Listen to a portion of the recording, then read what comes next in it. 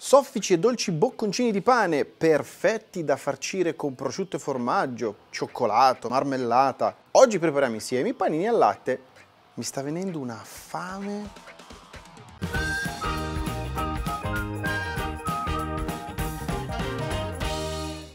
Comincio versando le farine in ciotola.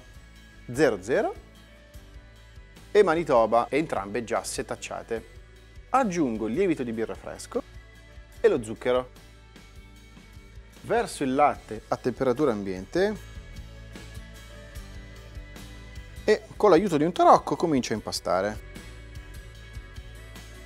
Una volta che i primi ingredienti saranno amalgamati, potrò aggiungere il burro fuso, tornato a temperatura ambiente.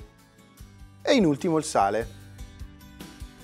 Li faccio incorporare all'impasto, che poi trasferisco sul piano da lavoro. Lo lavoro fino a che il composto non sarà liscio ed elastico. Se dovesse appiccicarsi troppo al piano da lavoro, basterà lasciarlo riposare per un paio di minuti coperto.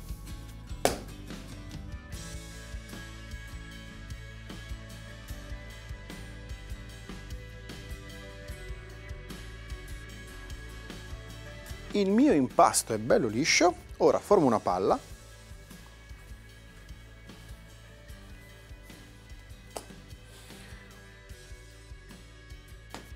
ungo leggermente del burro ammorbidito il fondo di una ciotola, trasferisco dentro l'impasto, lo copro con pellicola e lo lascio lievitare in forno spento con la luce accesa per almeno due ore.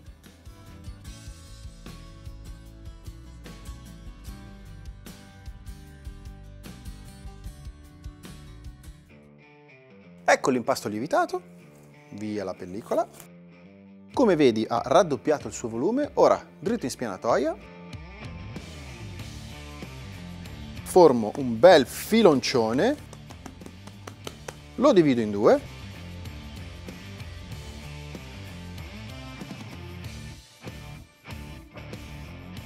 copro l'impasto con canovaccio, così non si seccherà, e ricavi i miei panini che dovranno pesare circa 30 grammi l'uno. Poi gli diamo una forma e poi ci sono un po' di modi per chiudere, prendendo tutti gli angoli e portandoli al centro. E poi con il palmo della mano andiamo a pirlare la nostra pallottola. Una breve pinzatina sul fondo ed eccolo qua. Lo appoggio su una leccarda dotata di carta forno. Andiamo avanti. Ora, un altro modo per chiudere le palline, ancora più semplice, è portare tutti i lati al centro fino a che si formerà la solita sfera che vado comunque a pinzare.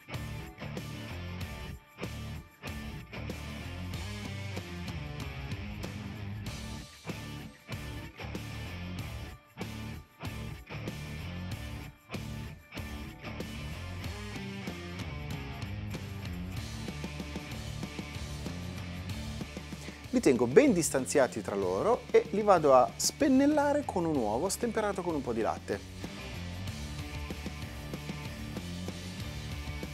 Dopodiché li lascerò lievitare per altri 30 minuti.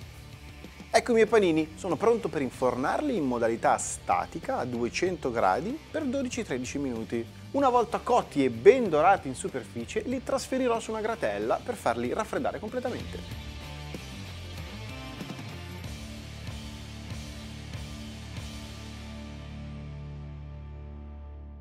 Guarda che carini i miei panini! Qui sotto ti lascio il link alla fotoricetta su giallo zafferano dove troverai ingredienti, dosi e procedimento passo passo. Se ti è piaciuto questo video metti un bel mi piace e se hai qualche domanda scrivila nei commenti. Ah, se ancora non l'hai fatto iscriviti al canale. Panini al latte!